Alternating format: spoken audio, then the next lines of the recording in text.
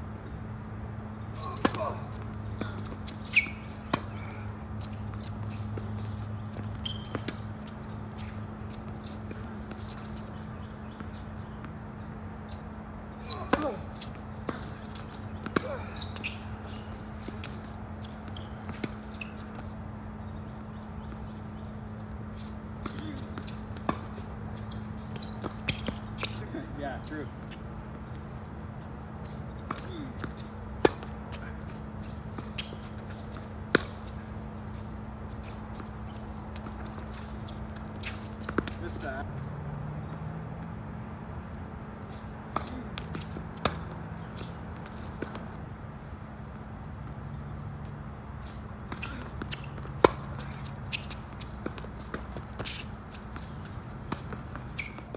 Well, Jeremy had a decisive victory today.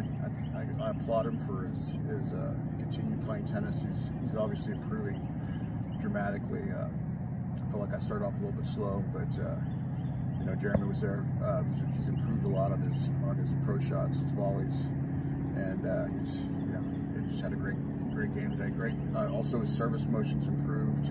Um, he's got probably I'd say about 10 to 15 miles per hour more on his serve, and uh, he played a great match. Thanks. Yeah, Pete's always tough to play. Uh, he just gives you so many different balls. Uh, you don't get a rhythm.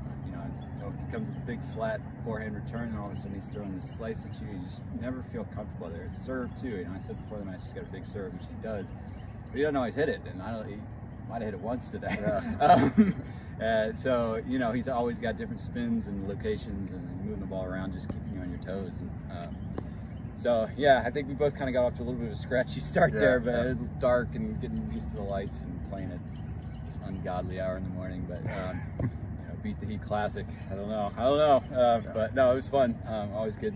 Always good to get out here. As, as, a, as a small note, I'd like to say that uh, I think this is a great empirical data of why I should stay in four, four of this victory. I'll end with that. So overall, would you consider playing this early again? I would. Yeah, I don't mind it at all. I mean, we I know get home by eight o'clock and be on with our day. And uh, you know, it was actually I was thinking it was like 3-0 in the second set, and I walked back out there and I was like, you know, it's actually a little cool out here. Is, am I Right. crazy? Like, yeah. um, so yeah, compared to playing in 95, 105. Yeah, and I, I love it too. I mean, getting up in the morning early, the, get tennis out of the way, and, and then get have your whole day. I feel like I have a lot more energy. So I mean, I love playing tennis early. Glad, glad Wow. everybody's started. People are starting to play early like this. All right, good deal. Thanks. Thanks, guys. All right.